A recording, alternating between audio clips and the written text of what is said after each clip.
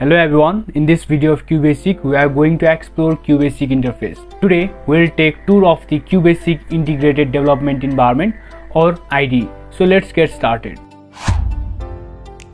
When you open QBasic IDE, you will be greeted with this interface.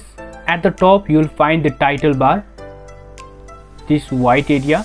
Directly below is the menu area. This is where you will discover various options such as file, edit, view, search, run, debug, option, help. If you click on any one of these menu items, you will reveal or drop down with a sub menu. Now let's shift our attention to the spacious blue area. This is where the magic happens it's your code area where you write your actual code. You can also call this area a code area. Beneath the code area, you will see a status area where you will receive important messages about syntax error. And finally at the very bottom, we have the status bar. This one is the status bar it provides valuable information indicating the current line and column. This one is for column and this one is for line. Pressing enter, my column is being changed and you can see it's 2 now. If I'll press enter, it will become 3 because it's the third column. And if I'll press, press space, here the line number is being changed. It's now 18, now 19, 20. So uh, this status bar is used to show the column and line of the cursor. That's the basic layout of the QBasic IDE. Now Let's explore the sub menu of a file menu. So you can either click on the file menu or simply you can press alt plus F to access the file menu. You'll get so many sub menus. The first one is new program. First you will encounter new program. Selecting this option new program will allow you to create a new program from scratch. Second option is open program. This option is used to open already created program. So let's click the open program now I have already created one program som.bash so I want to open this program.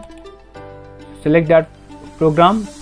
Click OK. My program that I have saved earlier is displayed over here. Since I am using a QB45 version of QBasic in a DOS box, I only have this much options. If you are using earlier version of QBasic, then you will get options of save and save as both.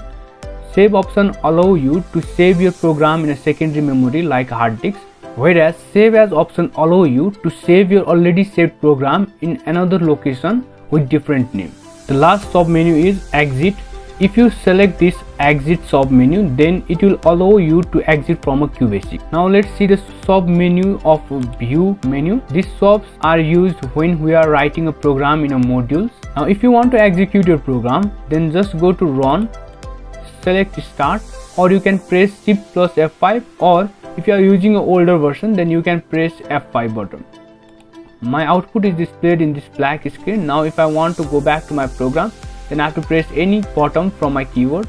You can also change the background color and text color of this QBasic. For that you have to go to the option menu, select display and now this foreground means the text color and this background means the background color of the QBasic so you can select any color you like. Now i'm choosing text color to be black and background to be red. And now if i'll press ok then change will appear here. That's all for this video. I hope this video was helpful for you. Next video we are going to write our first QBasic program. Join our telegram channel discord community. Follow us on instagram and facebook for more content and updates. Don't forget to like comment share and subscribe to our channel. Thank you for watching